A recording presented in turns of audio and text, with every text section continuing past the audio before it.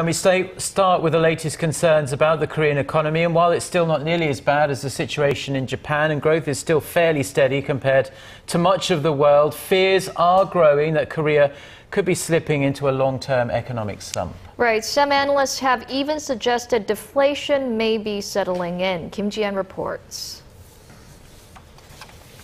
There are growing fears about deflation fanned by expectations consumer price increases will remain trapped in the 1% range for the second consecutive year. Statistics Korea says prices rose a mere 1.2% on year in October and were down 0.3% from the previous month.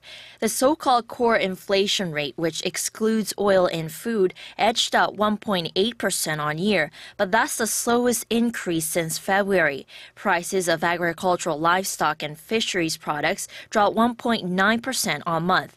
At this level, some analysts worry the situation in Korea will reflect what happened in Japan in the early 1990s when Japan found itself in a long-term economic slump. Unlike Japan in the 1990s, Korea is recording positive growth, but there is certainly a risk of deflation if low consumer prices continue for several years. We expect consumer prices to pick up next year. However, the low price trend will likely continue as global growth measures are focused on the service sector and on consumer products rather than on manufacturing.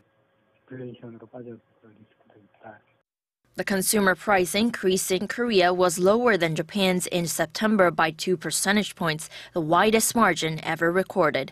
Kim Ji-yeon, Arirang News.